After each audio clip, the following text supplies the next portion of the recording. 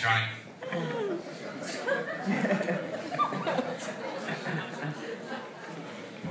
I gotta warm up a little bit. Um, I'm Rob. I am the, the best man. Very honored for that uh, distinction. Uh, I, I actually have a lot written. I'm sure I'll go off tangent here a little bit, but I just realized that Harold earned a new nickname tonight.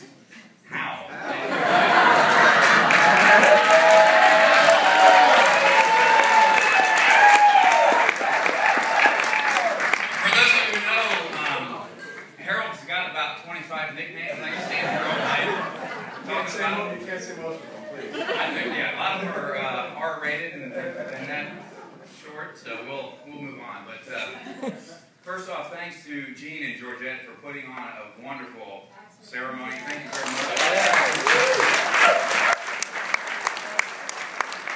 I mean, this is a great occasion for us to be able to celebrate love and happiness for Megan and Harold. And I'm, I'm so appreciative to be here in this in this uh, event. So thank you very much.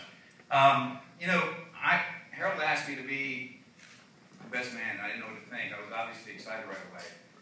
Um, mainly because I wanted to be able to be the person to toast and celebrate um, their marriage, but also the opportunity to roast Harold. So.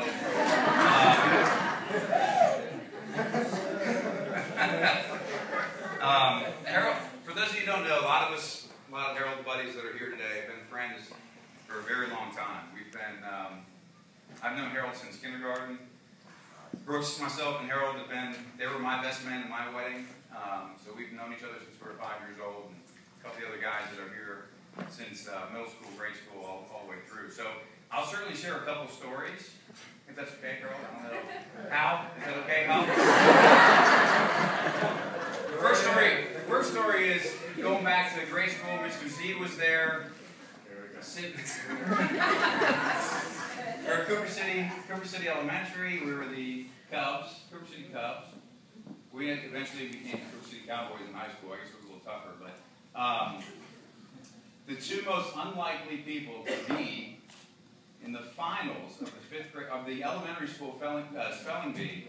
Spelling I, I can't even say it, but the, the spelling bee was Harold and I. So we beat all the smart kids, Beth, we won. to get to the finals. So it was Harold and I, and of course, you guys, I, the only reason I'm telling the story is because I actually won. So,